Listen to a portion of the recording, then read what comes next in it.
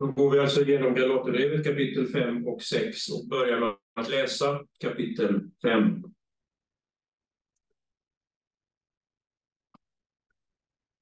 Till denna frihet har Kristus gjort oss fria. Stå därför fasta och låt er inte på nytt tvingas in under slavoket. Se, jag, Paulus, säger er att om ni låter omskära er kommer Kristus inte att vara till någon hjälp för er. Jag försäkrar er än en gång, var och en som låter omskära sig är skyldig att hålla hela lagen. Ni har kommit bort ifrån Kristus, ni som försöker bli rättfärdiga genom lagen. Ni har fallit ur nåden. Vi däremot väntar i anden genom tron på den rättfärdighet som är vårt hopp. Ty i Kristus Jesus beror det inte på om vi är omskurna eller oomskurna, utan om vi har en tro som är verksam i kärlek. Ni började bra. Vem har nu hindrat er så att ni inte längre lyder sanningen? Till det har ni inte blivit övertalade av honom som kallade er. Lite surdeg syrar hela degen. Jag för min del litar i Herren på att ni inte ska vara av annan mening. Men den som skapar förvirring bland er ska få sin dom, vem han än är. Bröder, om jag fortfarande predikade omskärelse, varför skulle jag då bli förföljd? Då vore korsets anstöt borta. Det som uppviglar er borde gå och stympa sig.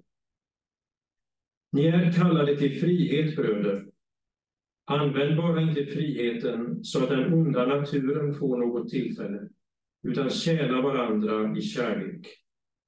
Ty hela lagen är uppfylld i detta enda budord, du skall älska din nästa som dig själv. Men om ni biter och sliter i varandra, se då till att ni inte blir uppslukade av varandra.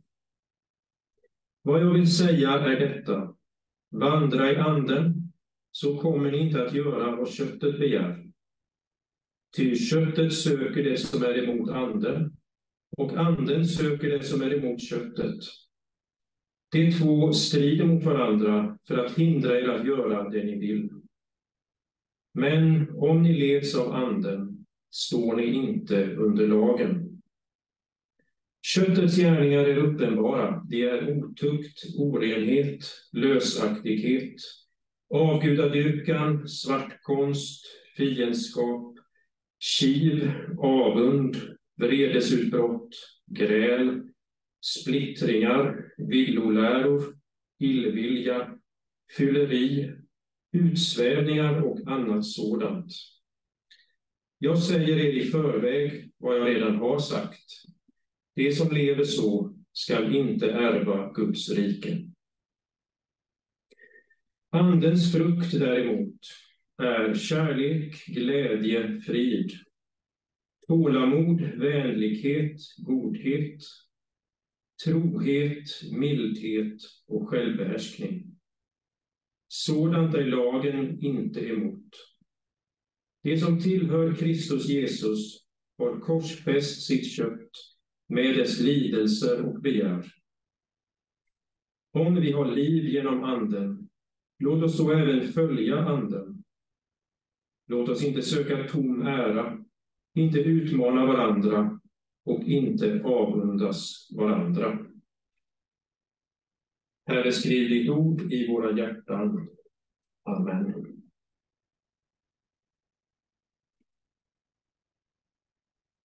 Jag tänkte så här att nu när vi har två kapitel som vi ska gå igenom så är inte huvuduppgiften att se på alla detaljer, utan det handlar om att se flödet i texten, skulle jag vilja eh, uttrycka det. Att se hur Paulus liksom argumentation går från det ena till det andra och hur det finns en, en logik i det som han säger och att det finns ett flöde han, han tar oss från en punkt och för oss framåt och drar sina slutsatser. nu ska jag också bara säga allra först att om det är något svenskt ord som återkommer och ni inte förstår det så får ni gärna bara, inte bara hissa upp en flagga eller en hand här, utan bara säg högt i så fall, så får vi rätt ut det. Men däremot de innehållsliga frågorna kommer då eh, efteråt, som, som Bojo beskrev. Men jag tror ni kommer förstå eh, flödet och därför har jag satt mig här inne så jag också har tillgång till en, en tavla. För jag tänker så här att när vi nu kommer in här och går in i kapitel 5 och 6, då är Paulus egentligen i full färd med att dra slutsatser av sådant som han har sagt tidigare i brevet. Och ni vet hur det är med disposition och struktur, att om man tittar i olika kommentarer får man ofta olika förslag. Och när det inte är väldigt tydligt i texten så, så kan man uppfatta det olika. Jag skulle vilja i alla fall nu eh, presentera hur jag anser att strukturen här i, i den här delen av Galaterbrevet är. Och då har jag ritat på tavlan, jag hoppas det går att, går att se, att här har vi korset och korset får nu konsekvenser, en följder. Och vi kan sammanfatta dem egentligen i två huvudord som Paulus utvecklar här i kapitel 5 och 6. Och det är frihet. Korset leder till frihet och korset leder till ett liv i ande. Och utifrån de här två huvudtankarna, eh, huvudbegreppen, så kan vi sedan placera in olika underavdelningar och resonemang som Paulus har. Nu kommer inte detta först här, och därför har jag skrivit, och det kan vara svårare att se, men jag vill bara visa här att detta är ju någonting som i den här flödet som han är inne i börjar i kapitel 3, vers 1, som vi såg på förra gången i, i det här seminariet. Men tycker vi kan slå upp kapitel 3, vers 1, eftersom det är där egentligen som hela nu resonemanget emanerar ifrån kapitel 3, vers 1. Där Paulus säger, ni dåraktiga galater, vem har förhäxat er? Ni som har fått Jesus Kristus framställd för era ögon som korsfäst. Så att denna nu förkunnelse av Jesus Kristus och honom som korsfäst. Det har vi i 3.1. Sen finns de här två eh, teman som vi har här, frihet, ande. De finns egentligen här i kapitel 3 och kapitel 4. De dyker upp, men det är egentligen först i kapitel 5 som de verkligen utvecklas. Men vi kan bara här se att om vi tar frihetstemat Ja, allra först ska jag säga att vi kan se på kapitel 3, vers 14. För där finns egentligen båda två i en och samma vers. Så hela denna liksom övergången har vi där i 3.14. Vi friköptes för att den välsignelse som eh, den välsignelse Abraham fått skulle i Jesus Kristus komma till hedningarna och för att vi genom tron skulle få den utlovade anden. Alltså friköpande, frihet och ande finns här i 3.14. Men om vi försöker följa de här så har vi det här, om vi repeterar, och som också nämndes förra gången, att vi har det här i kapitel 3, 25. Där Paulus har utvecklat det här att lagen har varit som en övervakare fram till Kristus. Och så i 25 säger men sen tron har kommit står vi inte längre under. Och det här ska vi komma tillbaka till, detta att vara under. Vi är inte längre under någon övervakare, vi är inte under lagen. Och det andra stället här fram nu, som vi bara kan se i kapitel 4, 22 och följande, där ju, som vi också såg förra gången, Paulus utvecklar hela tanken på två olika förbund. Och det som kännetecknar nu detta förbund som de har blivit kallade in i är just frihet. Den fria hustrun har vi där i 22. Det ena föder sina barn i slaveri, det andra föder dem i frihet. Så det finns temat i kapitel 3, i kapitel 4, men sen är det egentligen i kapitel 5 som det blommar ut. Och vi kan säga här, i vårt avsnitt, om vi ska disponera det, så kapitel 5, 1 till och med 15 är det frihetstemat som Paulus utvecklar. Och på liknande sätt, det som börjar i 16 och som jag tycker man kan se, eller argumentera för att det går ända till alltså 5, 16 till 6, 10, är då temat livet i anden. Och om vi bara tittar lite hur det också kommer direkt egentligen, men sedan eh, eh, växlar upp, så har vi det redan i kapitel 3, vers 2 och 3, efter att ha nämnt korset, så kommer omedelbart där, endast det vill jag veta, tog ni emot anden genom att hålla lagen eller genom att lyssna i tro? Är ni så dåräckliga, ni som började i anden, ska ni nu sluta i köttet. Så att här nämns anden. Vi hade det också i 3.14. Och om vi går till kapitel 4 kan vi där se på vers 6 som en viktig, ett viktigt ställe där anden nämns. Och eftersom ni är söner har Gud sänt i våra hjärtan sin sons ande som ropar Abba, Fader. Men han utvecklar inte det här egentligen på något av ställena, utan det kommer sedan i eh, kapitel 5 och 6. Så 5, 16 till 6, 10. Och sedan då, om vi tittar nu på våra kapitel här 5 och 6, så kan vi säga att från kapitel 6, vers 11, är en tydlig avslutning som inte desto mindre är en väldigt viktig avslutning. Det är inte bara en avrundning, utan där har vi på sätt och vis en slags sammanfattning av hans ärende och vad han har velat i brevet. Vi ska komma tillbaka till det. Så att dispositionen här eh, ser ut så, och med två huvudteman.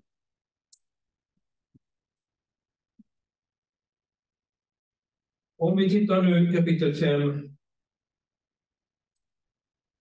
Eh, och hela frihetstemat så ska vi nu minnas vad vi har med oss från kapitel 4 och som också klargjordes förra gången, att Paulus där uttryckligen har beskrivit det som två olika förbund.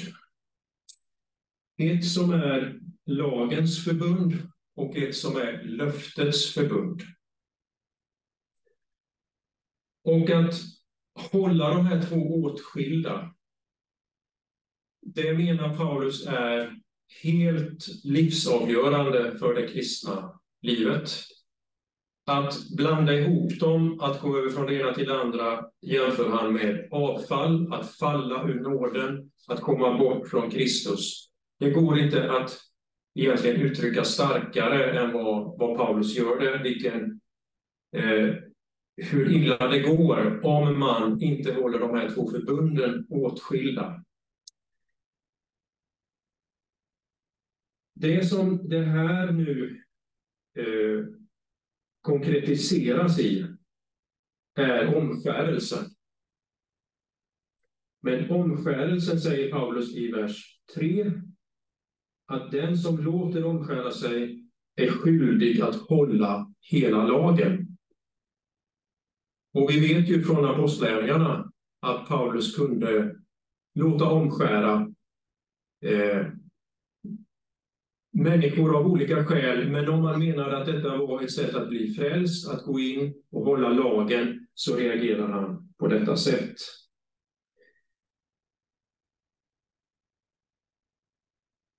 Vi har beskrivit det här med rätta som skillnaden mellan rättfärdiggörelse och helgelse. Och jag tänkte eh, denna förståelse av rättfärdighet och rättfärdiggörelse, att den innebär en frihet, är så väldigt starkt understruket här av Paulus. Och någon har sagt det så här, och jag vet inte hur det är i Norge, men åtminstone i Sverige, så har det här temat med frihet egentligen varit underbetonat. Eh, man har jämfört med Tyskland. Tyskland har gjort väldigt mycket av detta med att rättfärdiggörelse, frälsning innebär frihet. Så ibland har man sagt att de nästan har överbetonat det. Men åtminstone de jag kommer som kommer här från vår bakgrund kan nog säga att vi har inte gjort så mycket av detta som man kan göra om man tänker på förkunnelse, evangelisation och på olika sätt. Att Bibeln och Nya Testamentet här i sina liksom mest centrala delar är ett frihetsbudskap. Paulus säger detta 5.1. Till denna frihet har Kristus gjort oss fria. Och sen kommer det tillbaka där i 13. Ni är kallade till frihet. Och jag menar, detta är ju ett av de mest... Eh, alla tycker om ordet frihet. Vi vet också hur, hur meningslöst det är på sätt och vis om det inte är insatt i en eh, kontext, vad man är fri från och vad man är fri till.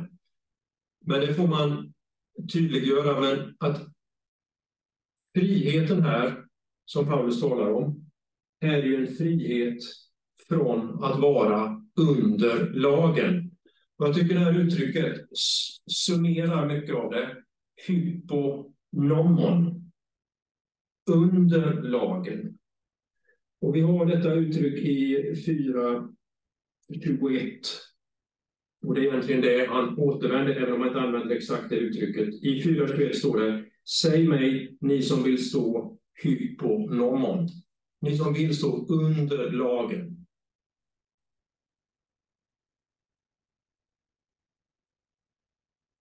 Därför att då hamnar man under lagens princip som säger att den som lever, den som gör den, ska leva av den. Och då går vi fram att det är inte lagen det är fel på, utan det är mig som står under lagen och inte kan leva upp till, till lagen. Och då säger också lagen att den som inte lever upp till vad den säger är under förbannelsen. Och att nu hålla dessa förbund åtskilda gicks igenom noggrant förra gången. Jag tänker inte säga så mycket mer om det, utan utgår från det som sades då. Men jag tycker, när vi ser hur det här i kyrkohistorien, teologihistorien har liksom utvecklats, så tycker jag själv att det är ett väldigt klargörande sätt när vi kommer till reformationen. Att beskriva detta. Det har vi när Martin Luther eh, använder sig av Aristoteles olika kategorier för att beskriva skillnaden mellan hur han tidigare uppfattade rättfärdighet och rättfärdiggörelse till hur han senare, när han har gjort sin upptäckt, uppfattar rättfärdighet och rättfärdiggörelse. Eh, Luther han hade ju föreläst över Aristoteles det blev han ålagd att göra, så han kände Aristoteles väl. Och han säger då vid ett senare tillfälle att han använder sig alltså av Aristoteles kategorier. Och de här kategorierna är ju ett sätt att beskriva verkligheten. En sådan kategori, det är vad som är någontings substans, dess osia, dess väsen. Och Luther säger senare att om man förstår rättfärdiggörelse i kategorin osia, substans, så kommer rättfärdiggörelse att handla om hur jag, från att vara orättfärdig, ska bli rättfärdig. Man betraktar mig, människan, och jag går från orättfärdig till rättfärdig genom att jag förvandlas. Och det är det vi ibland kallas för sanativ rättfärdiggörelse eller effektiv rättfärdiggörelse och liknande uttryck. Men, säger Luther, vi ska istället förstå rättfärdiggörelsen utifrån en annan kategori. Och denna andra kategori är relationens kategori. Så att inom relationen beskriver man verkligheten hur olika ting förhåller sig till varandra. Inte vad de är i sig, utan hur de förhåller sig till andra ting. Och om vi förstår rättfärdiggörelsen på det sättet så ska vi förstå det att jag kommer i en relation till Jesus Kristus där han tar all min synd, jag får all hans rättfärdighet. Och jag ska inte längre betraktas som jag är i mig själv, utan jag ska alltid betraktas som jag är i Kristus. Och med denna nya relation kan vi även tänka in vad Luther säger där om, i, om en kristen människas frihet. Jämför det med bröllopet och bruden och brudgummen som får allting gemensamt. Allt mitt är ditt, allt ditt är mitt. Så får en syndare säga, och så säger Kristus till syndaren, och genom tron upprättas denna relation. Och när jag är i den så tillhör allt mig, jag kan få visshet. Och vi ska ta med nu det här stället där Paulus nämnde om barnaskapet i kapitel 4, vers 6. En en ande som ropar Abba, Fader. Och för Luther och hela, för att förstå hela reformationen, menar jag, är detta med frälsningsvisshet. Det är en helt avgörande fråga. Och det är när Luther får frälsningsvisshet som reformationen verkligen tar fart hos honom personligen. Det är då han känner sig som född på nytt, som att han har gått in genom paradisets port. Och detta nu frihetstema är ju väldigt viktigt för Luther. Vi kan tänka 1520, då vi dels har om en kristen människas frihet, men även om kyrkans babyloniska fångenskap, där även där frihetstemat är med. Och detta sker ju samtidigt som Luthers yttre frihet blir mer och mer begränsad med bannhotbullar och så småningom själva bannlysningen. Så han blir begränsad i det yttre, men han upplever en enorm inre frihet, nämligen i sitt samvete, inför Gud, inför yttersta domen.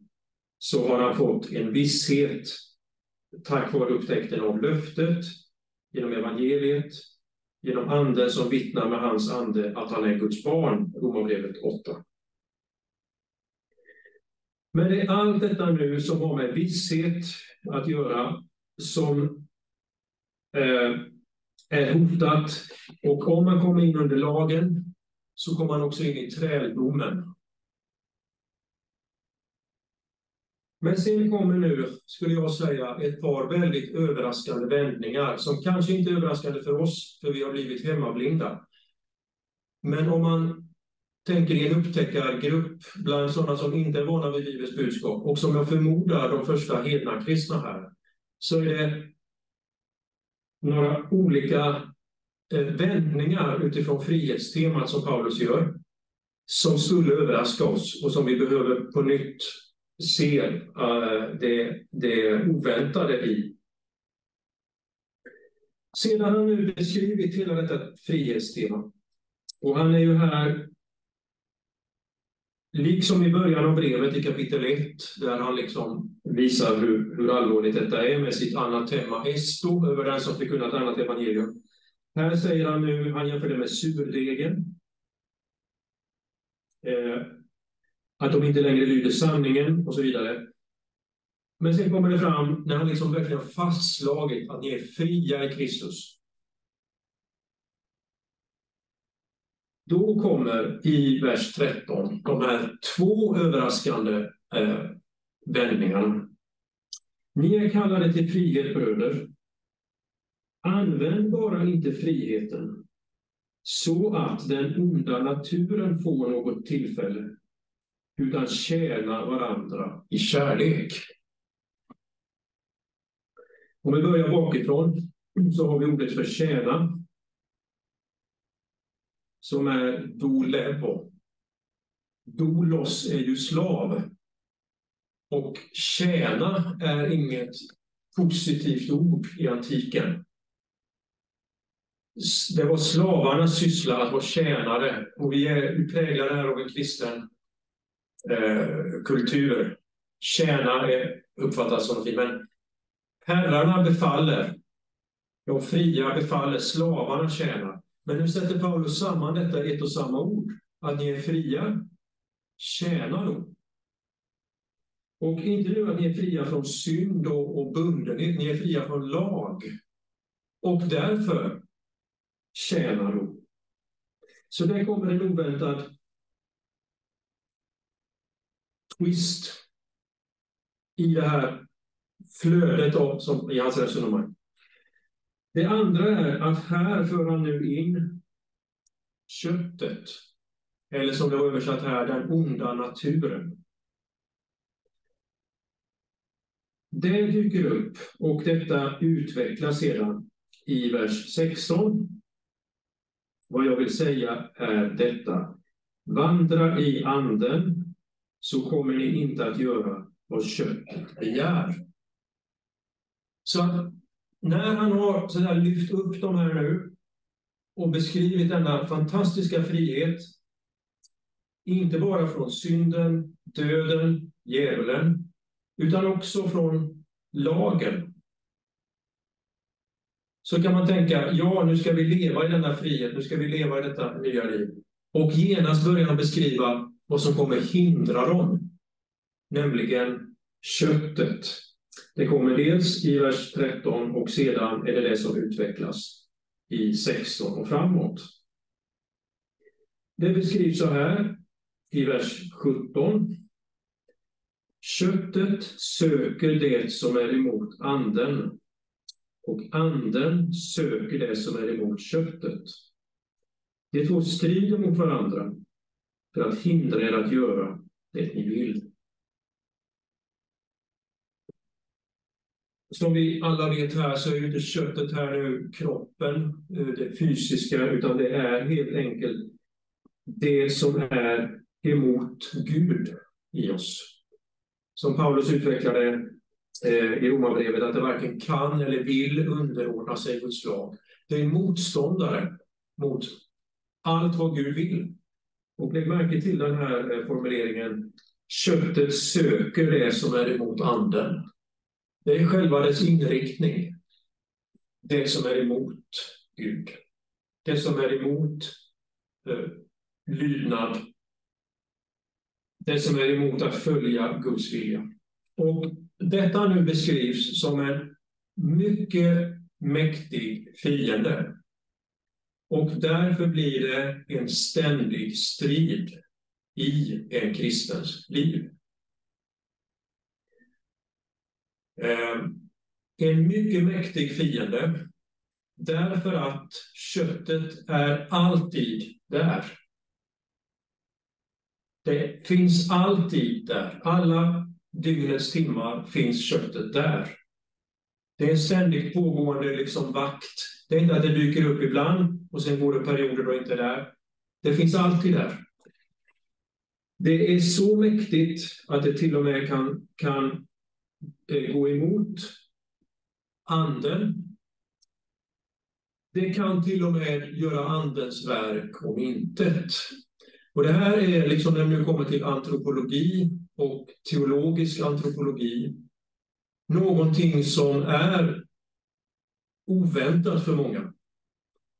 Och beroende på hur kyrkolandskapet ser ut, ser ut men vi har ju liksom haft traditioner som har sagt jag är härligt frälst. Och det är fint, det, det ska vi bekänna. Men ibland har man också gett intrycket av att därmed är det sedan ett liv eh, i helgelse och synden kan vara något lite i periferin, som repor i lacken. Men här visar Paulus att synden finns med i en kristens liv på ett mycket påtagligt sätt som leder till strid, inre kamp och strid.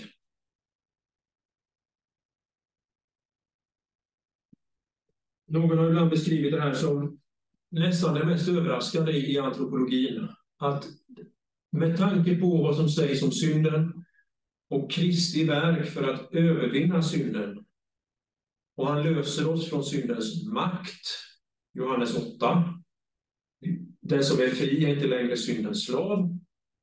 Men detta inneboende eh, och Luther säger på ett ställe i schmakalliska artiklarna att arvsynden är ett sånt så stort ont att vi inte kan pejla det med vår erfarenhet, utan vi måste tro det på utifrån vad ordet säger om det. Det inre fördärvet kan vi inte själva eh, inse vidden av, men vi tror det på grund av vad ordet säger om det.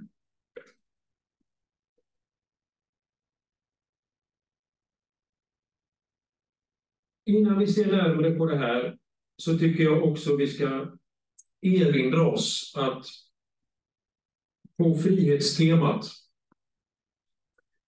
så har alltså Paulus förkunnat en sådan frihet från lagen att frågan kommer, leder inte detta till laglöshet?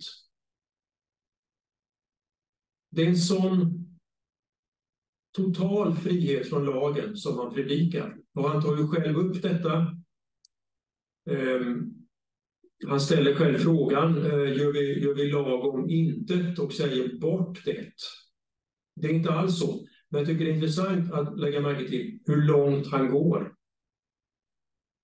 Och på samma sätt faktiskt, när, eh, vad vi kan förstå, så även Jesu förhållande till lagen tycks ju ha lett till frågan, göra lagen om intet? Och så säger han i bergspredikan att det är just det han inte har kommit för att göra, däremot för att fullborda den. Och jag tänkte bara peka på ett ställe till, eh, där det här ligger, den här eh, kraftiga frihetsförkunnelsen som kan leda till frågan, leder inte detta till laglöshet? Eh, Sen det har vi i Andra Petrusbrevet. Och vi kan, eh, kan slå upp det.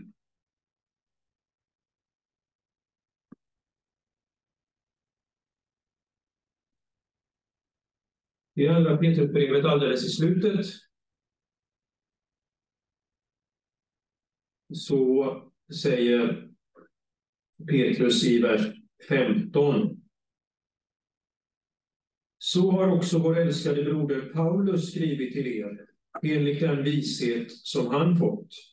Och så gör han i alla sina brev när han talar om detta. I dessa brev finns en del som är svårt att förstå och som okunniga och obefästa människor förvränger till sitt eget fördärv. Något som också sker med de övriga skrifterna.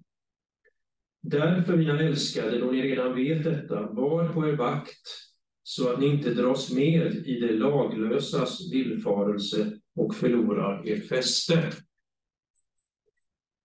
Det här avsnittet är intressant på många olika sätt eh, som vi inte ska fördjupa här, men bara tydligen jämställs Paulus brev med de övriga skrifterna. Så att Paulus brev här, där Petrus skriver, är redan eh, kanoniska. De tillhör de heliga skrifterna. När de nu förvrängs så förstår vi där av fortsättningen, det tycks vara att detta leder till de laglösas villfarelse. Eh, så att man kan förvränga dem till sitt eget fördärv. Men istället för laglöshet så leder detta nu till, till lagens verkliga uppfyllelse, nämligen, och då är vi inne på nästa tema, genom Andens verk.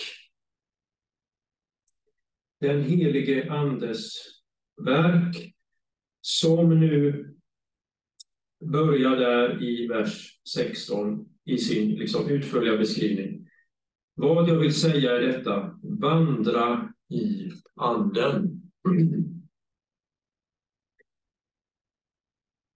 Vi känner alla till att det kommer här nu en uppräkning med köttets gärningar och andens frukt. Sådana här uppräkningar av olika laster eller dygder Eh, vanliga i antikens litteratur. Det som är liksom överraskande här och oväntat, det är uttrycket andens frukt. Eh, Paulus har på andra ställen han kan räkna upp goda egenskaper, men här är nu uttrycket andens frukt, som är egentligen något nytt sett från det antika perspektivet. Och det är också intressant att lägga märke till att Paulus gör de här uppräkningarna. Ibland har det kallats för syndakataloger. Och det kan man kalla dem. Eh, då har Bibeln sådana. Men naturligtvis risken med dem, och som de ibland har använt och kritiserat sig, när det blir för ytligt. Att det, under dem finns ju en mycket djupare och viktigare eh, orsak till att de ser ut som de gör. Och det som här är liksom orsaken, det är inledningen till de här båda, där det liksom kontrasteras gärningar och frukt. Gärningar, det är något som vi åstadkommer. Och när köttet får råda så blir detta våra gärningar. Men det blir liksom inte en spegelvändning som vi hade kunnat vänta, att det skulle vara några av de goda gärningarna, utan istället Andens frukt. Och frukt är ju här i singular.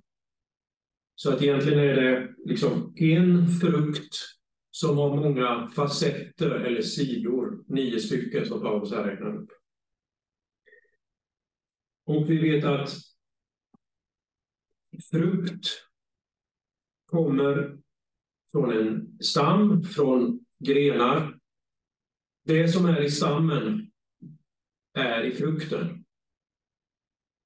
Det finns liksom en identitet mellan stammen och frukten. Det är samma liv, det är samma sav. Så allt beror egentligen på vad som kommer, var det kommer från. Och nu sägs det att detta är från anden och att detta ska i en kristen få ta gestalt. Vi kan stanna inför några av dem. Eh, vi börjar med köttet. Paulus säger att de är uppenbara, alltså att det är helt klart var de kommer ifrån, vad det är för slags gärningar. Och man har ju delat in de här i lite olika kategorier. Eh, en ganska tydlig är de första tre. Otukt, orenhet, lösaktighet. Att detta har att göra med sjätte budet, synd mot sjätte budet. Sedan kommer två stycken som går på det första budet, om vi så vill, två stycken som rör religion. Nämligen eh, avgudadyrkan och svartkonst. Och sedan kommer eh, en lång uppräkning av sådant som på olika sätt tycks ha någon gemensam nämnare att de skadar den kristna gemenskapen. Relationer mellan bröder och systrar och ihop med det också detta med villoläror som, som splittrar församlingen. Men som sagt, på, på, på svenska är de här orden fiendskap, kiv, avund, vredesutbrott, gräl, splittringar, villoläror, illvilja, fylleri, utsvävningar. De sista här går kanske lite bredare. Och annat sådant. Och det är intressant som en avslutning, där vill säga att Paulus säger att detta är bara exempel. Han hade kunnat räkna upp många fler annat sådant. Och så kommer nu denna mycket återigen kraftiga varning att den som lever så skall inte ärva Guds rike. Och sen har vi Andens frukt som man kan dela upp i, i tre. Kärlek, glädje, frid. Tålamod, vänlighet, godhet. Trohet, mildhet, självbehärskning. Sådant är lagen inte emot. Det som tillhör Kristus Jesus har korsfäst sitt kött med dess lidelser och begär. Om vi har liv genom Anden, låt oss då även följa Anden. Och jag tänkte nu bara peka på de här ställena. Alltså Paulus nu när han har ställt upp de här två och tillskriver liksom allt nu som har att göra med det goda här. Och det är kärlek som är lagens uppfyllelse. Det har vi i eh, vers 14, 5.14. Hela lagen är uppfylld i detta enda budord. Du ska älska din nästa som dig själv. Detta är verkat av Anden. Eh, vi är helt oförmögna att åstadkomma detta. Lika lite som att skapa vårt eget liv en gång, det fysiska livet, lika lite som vår pånyttfödelse, som också är verkad av Gud, och även nu detta nya liv måste komma från Anden. Men, och detta är viktigt, att Paulus beskriver inte bara detta och, och säger att så här är det bara. Utan vi ska lägga märke nu till hur det som går som en röd tråd genom avsnittet är att vi skall, så som befriade, liksom ge anden rätt mot köttet. Så det här kommer som en, en rad eh, påminnelser om detta och jag tänkte eh, nämna några av dem. Ehm, jag menar, egentligen finns det här redan tidigare, men nu tar jag inte upp alla, men vi kan titta till exempel i vers 13. Så är det en förmaning där. Använd bara inte friheten så att den onda naturen får något tillfälle. Alltså så som befriad finns nu denna frihet och den kan användas på olika sätt. Men om vi ser på vad, and, vad som sägs om anden, så har vi detta uttryck vandra i anden så. Det är vers 16. 5, 18. Om ni leds av anden så står ni inte under lagen. 5, 24 kan vi ta med i det här sammanhanget att de som tillräckligt har korsfäst sitt kött med dess lidelse och begär. Om vi har liv genom Anden, låt oss då även följa Anden. Och eh, om vi går ner och tittar i det vi nu inte har läst, nämligen kapitel 6, så kommer Paulus tillbaka till detta nu med anden och köttet från vers eh, 7 egentligen där han använder bilden av sådd och skörd. Och då sägs det där i vers 8, den som sår i sitt kötts åker skall av köttet skörda undergång, men den som sår i andens åker skall av anden skörda evigt liv. Så att vandra i anden, ledas av anden, följa anden, så i anden, det är något som Paulus nu uppmanar de kristna att göra. Um, och vi har ju motsatsen, ska jag säga, eh, nämligen som inte ska slå upp nu, men Paulus talar ju om att man kan bedröva Guds heliga ande. Och man kan även släcka anden. Eh, så att det här hur vi förhåller oss och vad vi gör, hur vi använder vår frihet eh, spelar roll eh, enligt det som, som står här. Och om vi kommer in i kapitel 6, som vi inte hinner läsa, ska jag bara säga att jag tänker inte hålla på längre än 60 minuter. Det är, är, är väl långt redan det, men, men när det är två kapitel får det ta den tiden. Men jag vill bara säga någonting om kapitel 6 och visa hur de här två temana liksom går vidare. Eh, vi hade ju kunnat, om vi vill använda de här, det här flödet och se hur det här utvecklas, så är det egentligen att Paulus här talar om hur denna frihet hotas av det som vi kan sammanfatta med att komma under lagen som är ett slav, slaveri, ett, ett sådant sinne. Och att det ger köttet frihet. Och så går det över i, i talet om anden. Och även ande, mellan kött och ande så kommer nu denna kamp som en stor del av kapitlet här är eh, ägnat åt. Som en bakgrund till det här hade vi kunnat också eh, se i Romarbrevet 6 som, som ligger väldigt nära detta. Inte minst där Paulus beskriver att vi har blivit korsfästa med Kristus. Så liksom hela nu temat om korset och där han nämnde att Eh, att en kristen har korsfäst köttet. Det kommer efter att hon själv har blivit medkorsfäst, som det ordagrant står i Romarbrevet 6.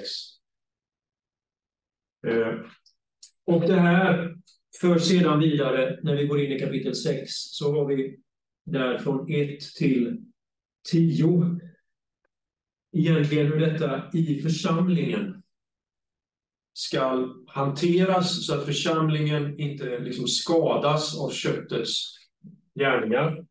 Så att um,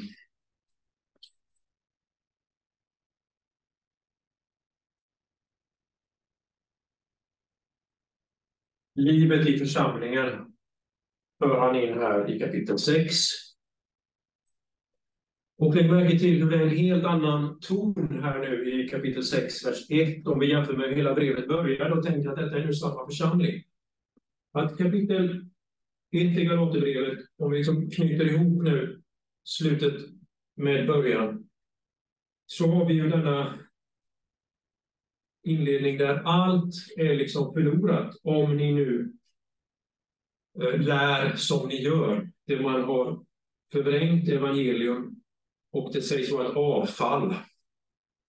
Så viktigt är det att detta nu evangelium blir bevarat och förkunnat så som Paulus har förkunnat det. Men här i kapitel 6, där det handlar nu om överträdelser. Bröder, vers 1. Om ni kommer på någon med att begå en överträdelse, då skall ni som är andliga människor i mildhet upprätta en sådan.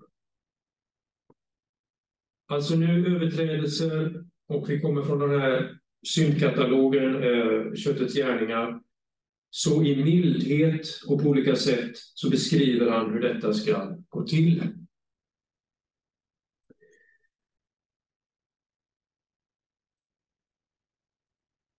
Allra sist 11 till 18 skulle jag vill jag bara nu stryka under, för det här är egentligen som en slags nästan sammanfattning av vad brevet har handlat om.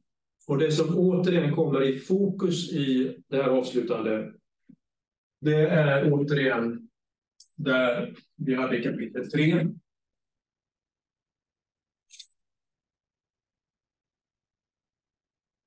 Korset. På flera ställen här nu i det avslutande återvänder Paulus till korset. Till exempel i, eh, vi läser inte hela nu, men jag bara pekar på det, kapitel 6, vers 12. När han har varit inne på omskärelse så säger han att för att de inte ska bli förföljda för Kristi kors. I vers 14 har vi den kanske allra starkaste eh, utsagan. Han säger, för min del vill jag aldrig berömma mig av något annat än vår Herre Jesu Kristi kors. Genom vilket världen är korsfäst för mig och jag för världen. Och sedan har vi det indirekt även i vers 17. Nu må ingen plåga mig längre eftersom jag bär Jesu märken på min kropp som troligen är efter lidande och misshandel och som då påminner om Jesu kors. Så att liksom, det här både, det både leder fram dit, men det är också så att det här som en sammanfattning pekar tillbaka eh, på vad han har sagt.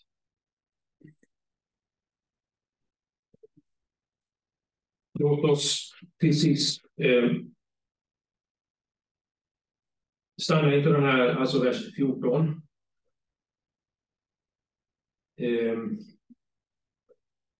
att berömma sig av korset, där är vi också ju på många sätt hemmablinda och vi har en kultur Men vissa kommentarer hjälper oss att se hur eh, oerhört det är när Paulus säger det här. Eh, det finns, som många av er vet, men det finns ett citat från Cicero, den store vältalaren och advokaten. Han säger att ordet krux, själva ordet, är så fasansfullt att en fri romersk medborgare skulle slippa, inte bara att se eller liksom utan att, att han skulle slippa höra detta ord. Det skulle liksom vara utanför hans sfär, ordet krux. Bara att höra det var så fasansfullt.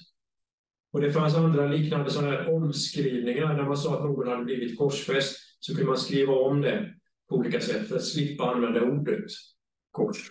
Och så säger Paulus att han inte vill berömma sig av något annat än vår Herre Jesu Kristi kors. Det är, eh, det är radikalt.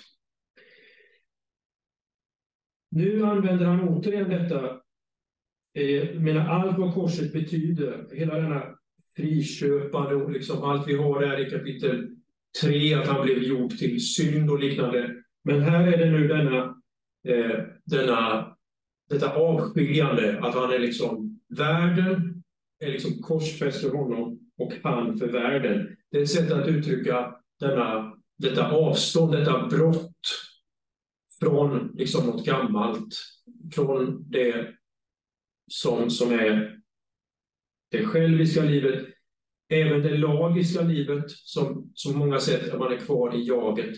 Han är fri, han är inte under lagen, han lever i anden och då beskrivs det som denna. Och som sagt, Romarbrevet 6 med medkorsfäst, medbegravd är liksom eh, det som ligger mer utvecklat om vi hade, hade sett på det. Ja, många andra saker finns att kommentera, men det kanske vi kan komma tillbaka till under frågestunden. Men jag sätter punkt där. Medan folk tänker om det är något, jag skulle bara kunna kommentera en sak, eh, Bojo, som jag tänkte på som jag inte fick med. Din... Jag tänker på den här listan med Andens frukt. Så att kärlek kommer först är ju, jag menar det väntat kan vi säga. Men att glädje kommer som nummer två finns ju anledning att, att stryka under och att stanna inför. Och vi har de här bibelställena att Fröjd i Herren eller glädje i Herren är er starkhet. Men jag tänker även här på hur reformationstiden plockade upp detta. Och ni vet ju att Luther hade ett särskilt förhållande till Galaterbrevet som han kallade för sin kära Kät och liknande. Alltså och du har Stora Galaterbrevskommentaren. Och jag tror att ganska mycket i Luthers liv och varför han var så glad i detta kan vi, kan vi förstå mer om ju mer vi liksom lär känna brevet också. Och detta med glädje. Luther tar ju fram det som få andra, att glädjen är en viktig sak, det är en andlig sak. Och hans namn på djävulen var att det är en, han är en spiritus trististie. En spiritus trististie, en, en sorgmodig ande som inte kan tåla glädje. Och jag tänker att detta är ett viktigt ord också i vår tid som får i västvärlden uppleva liksom en kyrkans Eh, nedgång på många sätt och det finns mycket man blir bedrövad över i, i kyrkan, men det finns liksom ett missmod och en sorgsenhet som också kan bli en andlig anfäktelse faktiskt, som, som vi behöver ta fasta på allt som vi har att glädja oss över i, i anden, i evangeliet, i allt som vi faktiskt ändå trots allt har i, i vår tid. Men det här finns utvecklat hos Luther och jag tänkte bara nämna vi har ju en svensk forskare som heter Birgit Stolt som särskilt har eh, lyft fram eh, detta drag hos, hos Luther och det finns många citat där han eh, vilket allvar han tog på detta. Han hotades ju själv hela tiden av, av en sorgsenhet och ett, ett liksom, att angripas av detta och att det är liksom inget fromt som man ser det utan Andens verk är glädje i evangeliet, glädje över det vi har och det kan det, det skulle jag bara vilja stryka under som i, i den här uppräkningen av Andens luft. Ja, det var en liten ja. tillägg. Det var flott viktig, viktig understreking, det du kommer med der. Um, er det noen som har um, spørsmål eller kommentarer?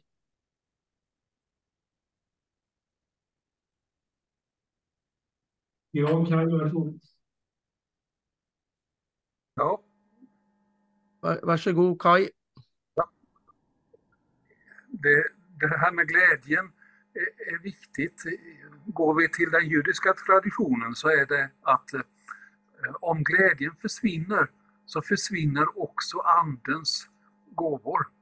Och, och möjlig, profeterna måste ha glädje för att kunna höra Guds röst.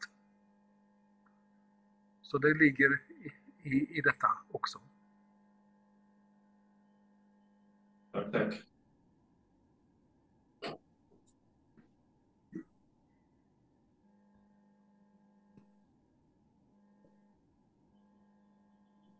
Ja, hei. Jeg har en liten ting som jeg kunne fått uh, litt klarere. Og det er Du nevnte at denne åndens frukt er i entall. Det er én frukt med flere fasetter. Ja. Hva er det som gjør at du mener at dette uh, hører, hører i hop som én frukt? At man ikke skiller det som uh, kjærlighet på én ting og ydmykhet som en annen frukt, men at det, du sier dette er én frukt med flere fasetter. Kan du si litt mer om det, takk? Ja, men eh, det är helt enkelt alltså ordet där för frukt står i singular. Det är helt enkelt det som jag ville påpeka att eh, det står inte frukter i plural utan ordet där är i singular.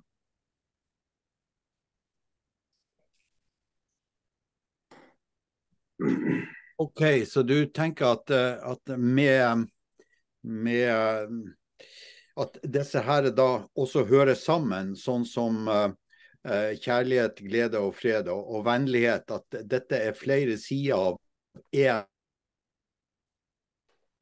Ja, man kan fundera på vilka slutsatser man ska dra av att, men jag tänker i, på svenska, jag gissar att det är likadant i norska, men man kan säga att här finns mycket frukt då är det liksom många olika frukter, alltså många. Men, men ordet här som sagt i grekiskan är eh, i singular, andens frukt, ental. Och sen räknas det upp vad de här är och man kan ju tänka igenom och vilka slutsatser man ska dra av detta. Men, men på något sätt så att, att det kommer från anden och att anden vill liksom verkliggöra detta eller liksom synliggöra eller realisera det, hur vi ska uttrycka det, i de kristnas liv och i församlingen. Eh, ja, kanske att, det, att de hör mer samman allihopa än, än, än vad det eh, fallet hade varit om det varit plural. Men det vet jag inte. Jag tycker bara det är en intressant eh, eh, iakttagelse där. Att det, att, att, och som vi lite lätt missar beroende på, på att vi, frukt kan ju betyda också många frukter, alltså även på, på våra språk, men så är det inte på alla språk. Ja, nej, men eh, tack. Vi tar ordet som det står. Tack för det. Ja, tack. Ja, Erik. Ja, det är nog lite spontana frågor eller spontana spörsmål. Eh, det ena går på detta med eh, att det hela sammanfattas i nästa kärleksbud.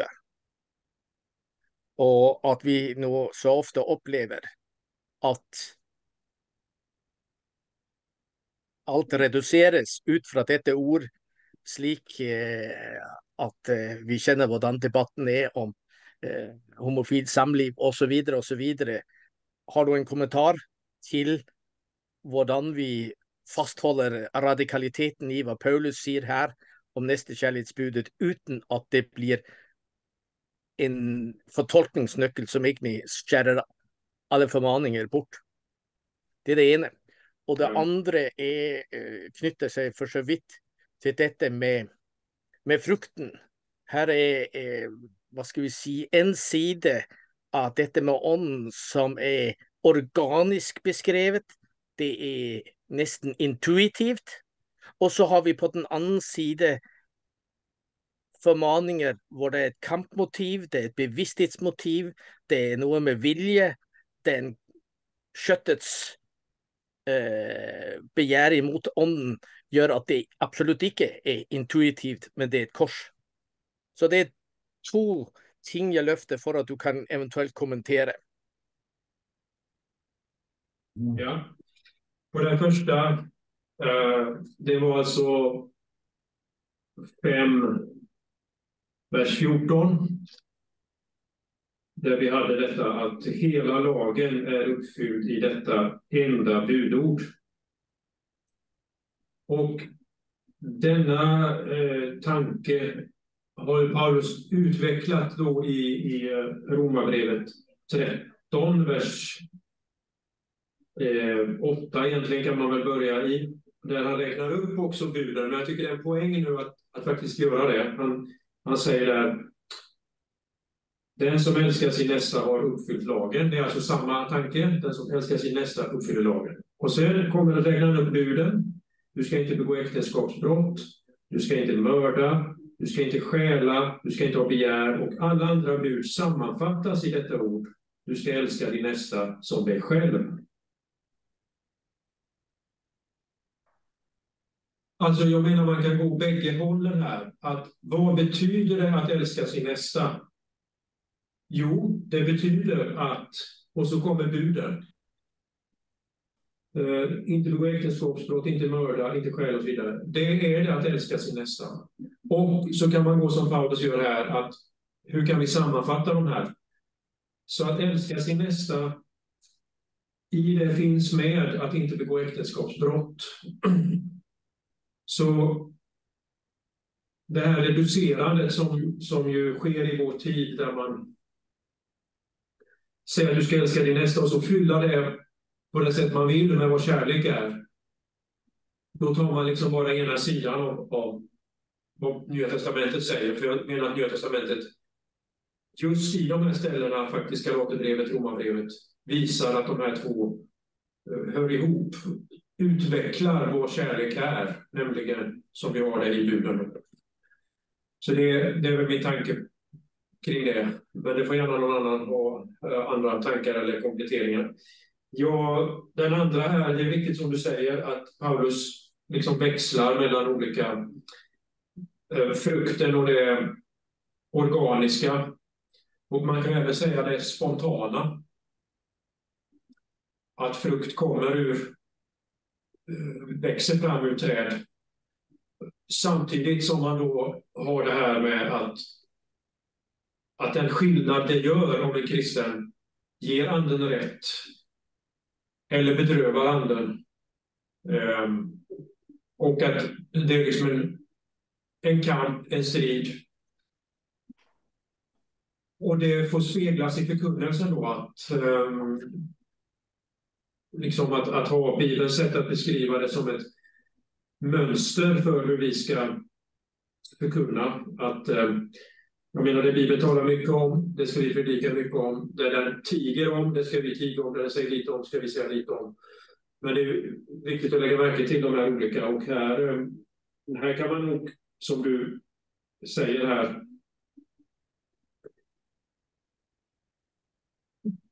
få med att det å ena sidan använder ordet strid i vers 17. De två är i strid med varandra. Eh, och samtidigt så är den här frukten liksom eh, det här spontana eller organiska som det som kommer ur eh, något annat. Eh. Men en sak som jag inte sa något om och som man kan lägga till här apropå detta att, att det finns ju en tidsdimension i det här med, med ande och kött, nämligen när han jämför det med en sådd. Och det som händer med den bilden är ju att då kommer in ett ett tidsperspektiv. Att som det ser ut nu är inte allt.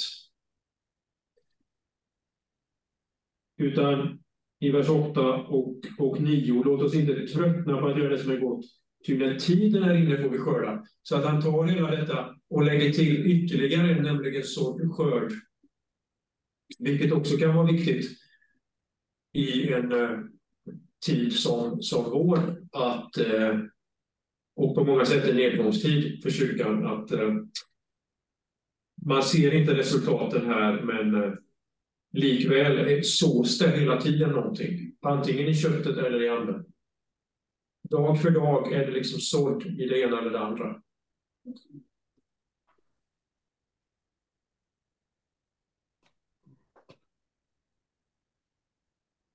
Ja, tack igen. Är det flera så bara kom igen.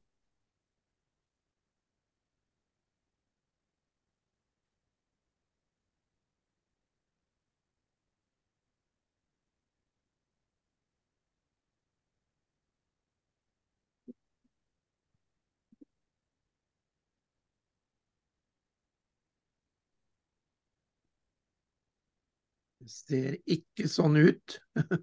jo då. Er det det? Jon Syver har markert. Å oh ja, beklager du, det har ikke jeg sett. Kom igjen, Jon Syver Nordby. Ja, jeg kjenner trang til å takke for uh, bibeltimen i dag, og takke for uh, alle de tre timene vi har hatt fra Galaterbrevet. Um, det er nok et brev som kanskje vi ikke leser så ofte på egen hånd, og kanskje mange kristne syns det er litt vanskelig.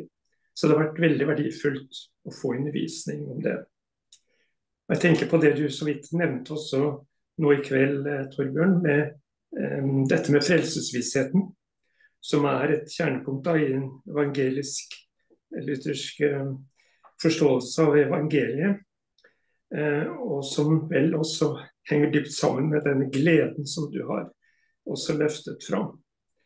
Och det var ju på något sätt Paulus sin nöd At leserne, som han skriver til, har holdt på å komme bort ifra evangeliet og kommet bort ifra eh, denne kilden hvor de nettopp kunne få, få hvile eh, for troen og styrke til å, å leve. Og at eh, dette med åndens gjerning det springer jo fram hele tiden av evangeliet om Jesus, at det er han som skal herliggjøres. Også i, i helliggjørelsen. At det er bare evangeliet som kan gi oss kraft mot synden, som kjemper i, i vårt indre. og det er bare evangeliet om Jesus som kan gi oss denne gleden og frelsesvisheten. Så um, tusen takk for, eh, for eh, verdifulle timer. Takk, takk.